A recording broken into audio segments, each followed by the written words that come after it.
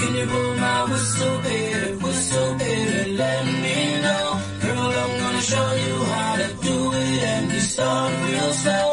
You just put your lips together and you come real close. Can you blow my whistle, baby?